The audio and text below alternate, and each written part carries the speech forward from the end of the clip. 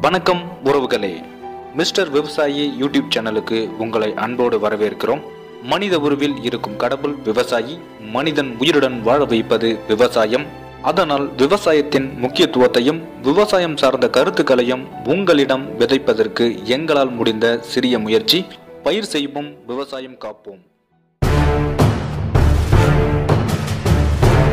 ரெண்டாவது உலகப் போரில் நிறைய கம்பெனிகள் வெடிமருந்து தயாரிச்சுது.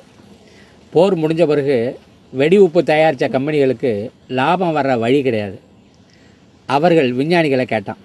விஞ்ஞானி சொன்னான் வெடி உப்பு தயாரிக்கிற ஆலைகளில் அமோனியான்னு ஒன்று தயாரிக்கிறீங்க. இந்த அமோனியாவை பயன்படுத்தி செடிகளுக்கு உரம் தயாரிக்கலான்னு சொல்லி கொடுத்தான். ஆகையினால் இந்த வெடி உப்பு கம்பெனிகளுக்கு லாபம் வரணுங்கிறதுக்காகவே நிறைய ரசாயன உரங்களை தயார் பண்ணாங்க. அதில் தான் அமோனியம் சல்பேட் வந்தது அதில் தான் யூரியா வந்தது அதில் தான் டிஏபி வந்தது அதில் தான் பொட்டேஷ் வந்தது. இதெல்லாம் இந்த அரபு நாட்டில் இருக்கிற எண்ணெய் கிணறுலேருந்து எடுத்த பெட்ரோல்லேருந்து நேப்தான்னு ஒரு பொருள் வருது.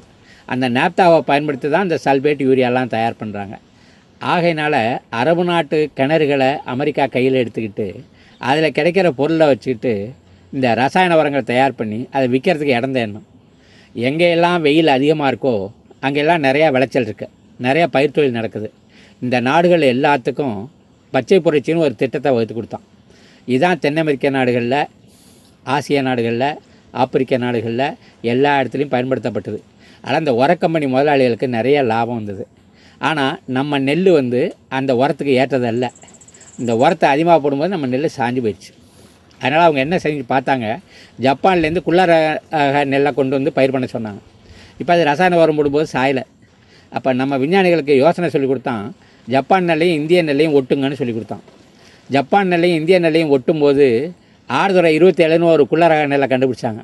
இந்த குள்ளரக நெல்லும் ரசாயன உரம் போட்டபோது சாயலை.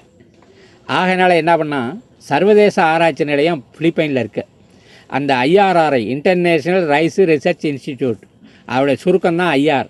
ஐஆர் எட்டு நெல்லை முதல்ல அறிமுகப்படுத்துனாங்க. அது குள்ளரகமாக இருந்தது அது சாயலை. ஆனால் என்ன பண்ணுச்சு நிறைய ரசாயன உரம் போட்டதுனால அது திங்கிறதுக்கு நல்லா இல்லை. மக்கள் அதை வேண்டான்ட்டாங்க. மறுபடியும் ஐயாறு அஞ்சுன்னு கொடுத்தான். அப்புறம் ஐயாறு இருபதுன்னு கொடுத்தான். ஐயாறு இருபத்தி ரெண்டுன்னு கொடுத்தான். ஐயாறு முப்பத்தாறுன்னு கொடுத்தான். ஐஆர் அறுபத்தி மூணுன்னு கொடுத்தான். அப்புறம் இந்தியாவிலேயே நீங்கள் எல்லாம் எல்லாம் உற்பத்தி பண்ணிங்க குள்ளரகத்தை அப்படின்னு சொல்லிட்டான். இதன் மூலம் அவன் ரசாயன உரத்தை விற்கிறதுக்காக நிறைய தந்திரத்தை சொல்லி கொடுத்தான். மக்களுக்கு வைக்கோல் இல்லாமல் போனதுனால மாடுகள்லாம் கசாப்பு கடைக்கு போயிடுச்சு. அது இப்போ மாட்டு எரு இல்லாமல் போயிடுச்சு. ஆனால் மக்கள் முழுசுமே இந்த ரசாயன உரத்தை நம்ப வேண்டி வந்துருச்சு.